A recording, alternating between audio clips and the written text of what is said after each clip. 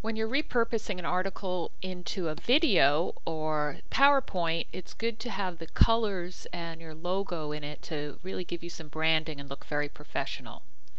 So once you've opened up your article in the outline format in PowerPoint, it's going to come out with something kind of like this, depending on how you uh, created the, the, the uh, font and whatnot. So we're going to want to add some colors to that. So I'm going to go into View and then into Slide Master.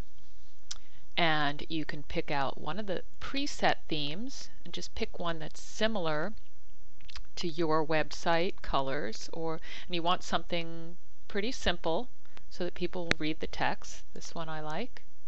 Now the colors do not match my website right now or my logo. So first I'm going to bring in my logo the image and put it on the slide. You can also insert, go into Insert Picture, but I had it on my desktop. So I'm just going to make it a bit smaller and put it down in the corner. And now I have an idea of what the colors are. I can go back into my Slide Master and over here on Colors. And there's a bunch of presets, so you can find one that's very similar to your website. Like this one's pretty close. And then I'll tweak it a little to make it closer to this blue.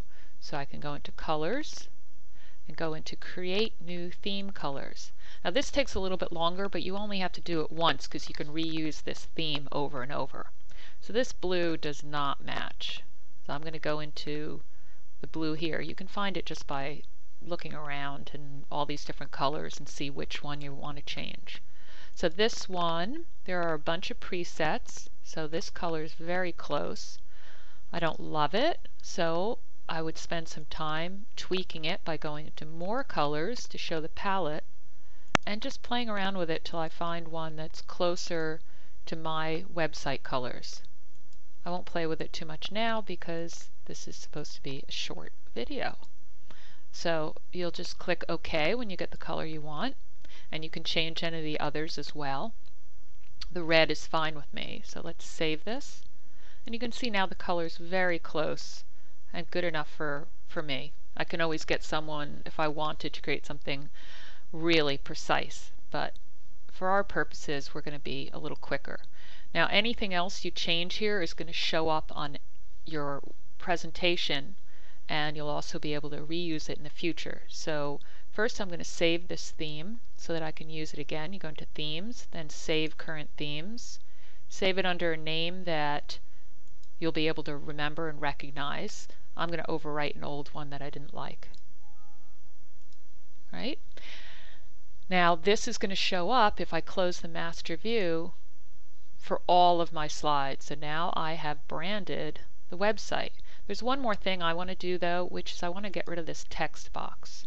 So I'm going to go back into View, Slide Master, and this is the slide format that's that it's using. It's already highlighted. So I'm just going to highlight the box, get rid of it, take this title slide and move it down so the text will all be in the middle.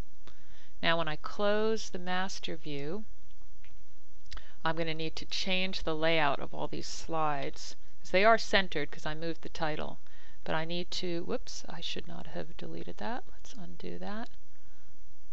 I just deleted the wrong thing.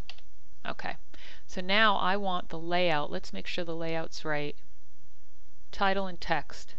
You can see what that is. So let's make sure all the other slides have that same layout. I'm going to highlight. You just click on one and then to highlight all of them go to the bottom and click Shift Enter.